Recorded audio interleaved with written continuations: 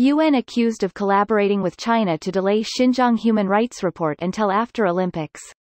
Here's a summary of the article.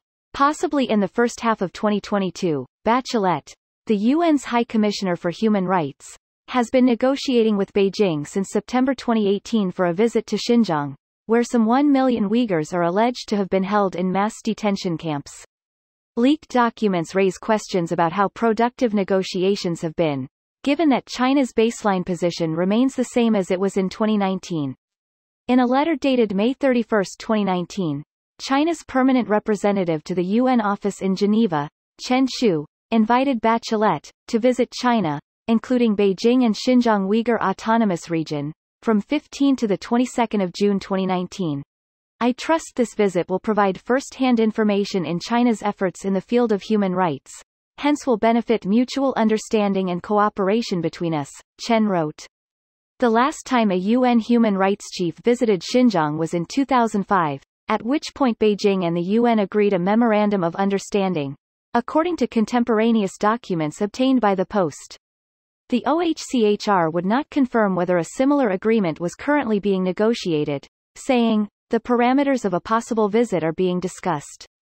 China has long said officials are welcome to see the human rights situation in Xinjiang firsthand, but has then balked at their requests for access to certain places or individuals.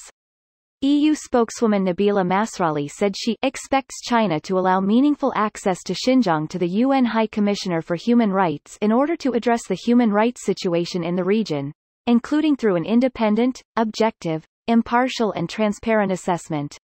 Your office's insistence on making the public statement on 2 November has on one hand demonstrated the misunderstanding, prejudice and even wrong perception of your office on Tibetan areas in China. Former Chinese ambassador Liu Zhenmin wrote to Navanethem Pillay, who was then the UN human rights chief. In 2014, Chinese officials urged the UN to deny Uyghur activists including Dolkun Issa access to the UN's Human Rights Council, demanding that, no officials of the meet these persons or accept any material they provide. This post received a score of 30,000, with an upvote ratio of 88%. Here are the top comments in response to this article. As if the report would have any teeth anyway. I mean, have you ever read a report that had teeth? Best case scenario it's the first step, worst case it's the last. Remember how world changing the Pandora Papers were? The Panama Papers? The Mueller report, the Snowden files. In all fairness, the Snowden stuff actually resulted in significant and positive changes in the IT world. In absolutely no part of this article is an accusation made they are colluding. The only thing even close is which still doesn't make any accusation of collusion, it's just lawmakers trying to push for a delayed report to be published. The reason it's delayed is because China is putting off the visit, that's not collusion. The UN can't just barge their way forcefully into a country, China is a sovereign nation, absurd of any journalist to just expect the UN to just enter.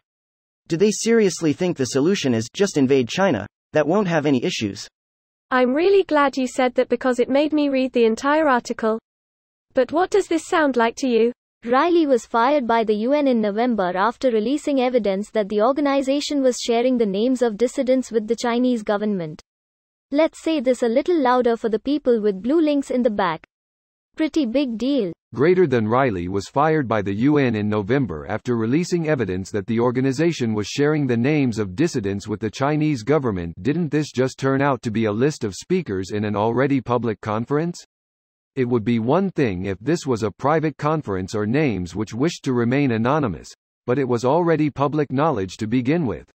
No. So your own source in that whistleblower is wrong. According to the object of the whistleblower's claims, yes. The UN claims it's innocent of wrongdoing, just like the police do when they investigate themselves.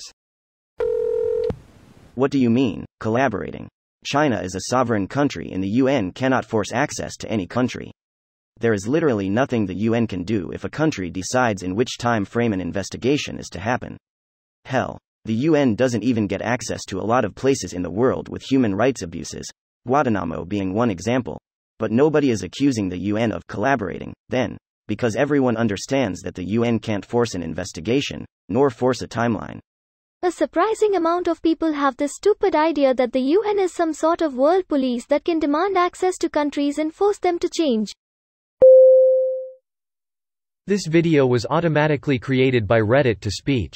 The article and comments in this video were selected from Reddit according to their upvotes and any paraphrasing was performed by SMMRY.com, without any human intervention.